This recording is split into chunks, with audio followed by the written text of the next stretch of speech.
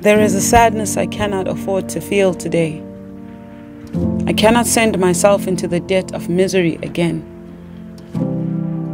Crediting unto myself a pain I so desperately believe I deserve to have, to bear, to feel.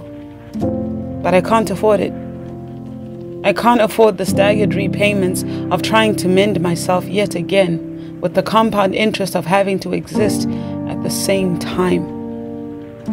To function, to nurture, to love, to cook, to write, to find clean socks and to remember if my child had water today and to later take three more days to respond to your WhatsApp text. Sorry for the delay. Sorry for the delay. Sorry for the delay. No. I'm sorry.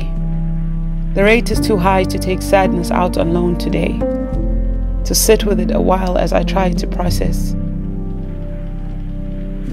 But to repeat my sad playlist comes at too high of a price, which requires immediate payment when my daughter needs her mother and my husband needs his wife. And I'm needing again to exist, to function, and somehow find my way out of this debt.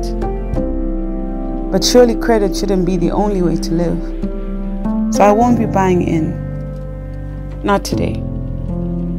There is a sadness I cannot afford to feel. Not today.